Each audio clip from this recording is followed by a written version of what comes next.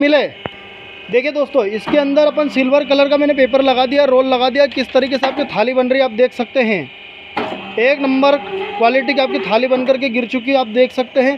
Super से ऊपर quality का माल बना है, अंदर एक रिंग, टोटल तीन रिंग, और बॉटम पे एक टोटल आपकी चार रिंग इस थाली के ऊपर आएगी।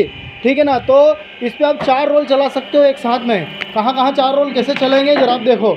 एक रोल यहाँ चल रहा है, दूसरा रोल यहाँ चलेगा, तीसरा रोल यहाँ चलेगा, चौथा मैंने भी लगाया नहीं, यहाँ भी लग जाएगा। तो इस मशीन पर टोटल आप चार रोल भी चला सकते हो, चार थाली के, चार नाश्ता प्लेट के, दोनों के दो चला सकते हो। देख सकते हैं कि किस तरीके की मशीन है सिंगल फेस घर की लाइट से चल जाएगी, दो एच मोटर है और इसकी एक साल की आपको वारंटी गारंटी मिल जाएगी दोस्तों। है ना? तो जिस भी पार्टी को मशीन चाहिए तो हमसे कांटेक्ट कर सकता है। कांटेक्ट नंबर लिख लो आप जरा। सात हज़ार इकतालीस उनपचास तीस। दूसरे नंबर है चौरासी बासठ अंठानवे ज़ीरो नौ सौ सोलह।